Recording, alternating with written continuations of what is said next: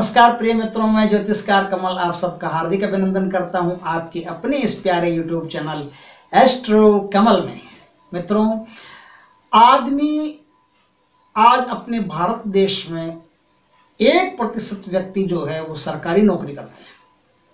लेकिन 99 प्रतिशत लोग हैं, वो सरकारी नौकरी नहीं करते हैं।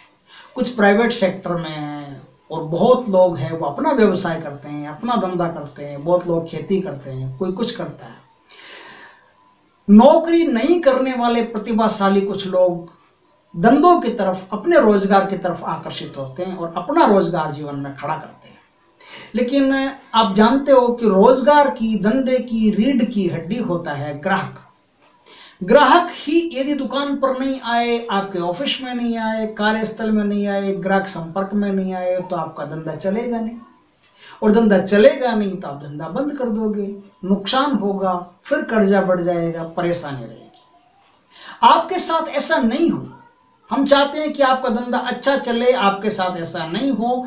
तो इसके लिए आज हम आपको एक छोटी सी विधि बता रहे हैं, जिसके जिसके कारण आपके दुकान में ग्राहकों की भीड़ लगी रहेगी, भगवान की कृपा से, और किसी चीज़ की कमी नहीं होगी। एक बात का हमेशा ख्याल रखें कि आपको मुनाफा जो है अपना कभी भी ऐसे मुँह फाड़ के नहीं लेना है। जितना उचित हो, उतना ही मुनाफा लेना है। दस प्रतिशत, पाँच प्रतिशत, दो प्रतिशत, चार प्रतिशत, जितना भी, जिससे आप कम से कम मुनाफा में अच्छे से अच्छा माल दे सकते हो, उतना मुनाफा आपको रखना है और दुकान को मेंटेन करके चलना है।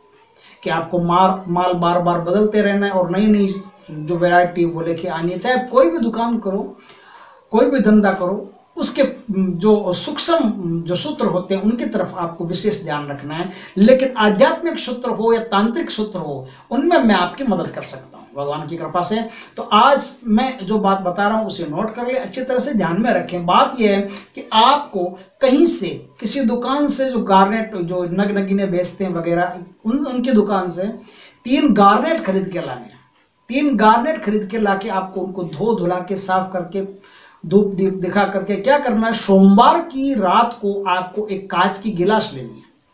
कांच की गिलास लेकर के उस कांच की गिलास में पानी भरे, पानी भर करके उन गार, पानी, देखो, पानी कितना भरना है? गिलास बराबर भर जाए इतना। अब उसमें गार्नेट कैसे डालने? ऐसे डालने धीरे धीरे कि गिलास का पानी बाहर नहीं छलके और गार्नेट अंदर पहुँच जाए। एकदम उसमें धीरे धीरे करके एकदम आराम से और बड़ी, बड़े ध्यान से उसमें गार्नेट आप डालिए। पूरा ध्यान, पूरा कॉन्स्टेंट आपका उस समय गार्नेट पर आ जाना चाहिए।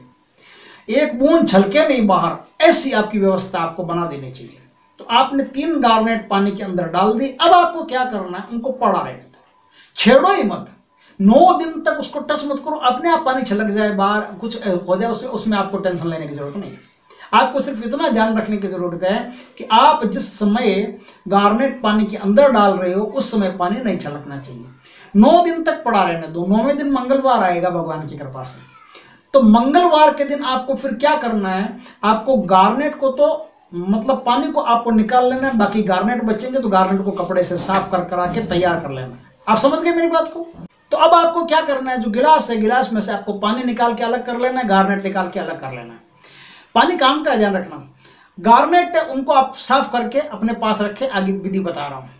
अगले दिन आएगा बुधवार। बुधवार के दिन आप दुकान जाइए, दुकान जाकर के पूरे दुकान में थोड़ा सा पानी और मिला सकते हैं, अगर ज़रूरत हो तो। पूरे दुकान में कोने कोने में कोई भी कॉर्नर बचना नहीं चाहिए। पूरी दुकान में आप उस पानी को छिड़के। चाहे स्प्रे करें, चाहे छिड़के, कुछ भी करें, आपकी मर्ज़ी, लेकिन पूरे दुकान के कोने कोने में वो पानी पहुँच जाना चाहिए। आप समझ गए बात को? अब ये जो गार्नेट बसते हैं, इन गार्नेट को आपको अपने दुकान की टेबल पर या कहीं भी आप बैठते हैं, कुछ भी तो इस तरह से सजा करके आपको रखना है, चाहे तो फ्रेमिंग करवा के रख लो, चाहे सजा के, कैसे भी। ग्राहक की नज़र इन पर पड़नी चाहिए। एक बार जिस ग्राहक की नज़र इन गार्नेट पर पड़ गई, वो ग्राहक आपका हो गया, वो ग्राहक आपकी दुकान से बंद गया, वो दुकान छोड़ के कहीं नहीं जाएगा बार बार आपकी दुकान में आता रहेगा। बार बार कोई कोई काम पड़ेगा, उसकी इच्छा होगी कि उसी दुकान पर चले जिस दुकान पर पहले गए। तो बार बार आपसे मिलता रहेगा, आता रहेगा, आपकी दुकान में हमेशा अपना काम, अपना जो खरीदारी है वो करवाता रहेगा। इस तरह से ग्राहक का वशीकरण होता है और आप ग्राहक के साथ भी हमेशा ऐसा ही बर्ताव करें जो अच्छा बर्ताव हो। यदि आप सोचते हैं कि वशीकरण तो हो गया, आप उल्टे पास में से मूड लो, ऐसा नहीं चलेगा। आप वशीकरण का पूरा प्रभाव उठाना चाहते हैं तो ग्राहक के साथ भी देवताओं वाला बर्ताव करें, राक्षसों वाला बर्ताव ना करें। नियमित जो ग्राहक बन जाते हैं, उनके साथ भी और जो नियमित नहीं होते, उनके साथ भी नियमित मुनाफे में, नियत मुनाफे में आपको काम करना चाहिए, आपकी दुकान बढ़िया चलेगी, आगे आपको भविष्य में आनंद आएगा, दुकान बंद करने का मौका नहीं मिलेगा। आपका कारोबार बहुत बढ़िया होगा। वीडियो अच्छा लगे तो लाइक करें, कमेंट करें, शेयर करें। और यदि पहली बार आप हमारे चैनल पर आए हैं तो चैनल को सब्सक्राइब करें। पास में जो बेल आइकन का बटन है, वो दबा दें ताकि हमारे ज्ञानवर्धक जानकारी पूर्ण वीडियो सबसे पहले आपके पास पहुँच सके। जय श्री कृष्ण मित्रों।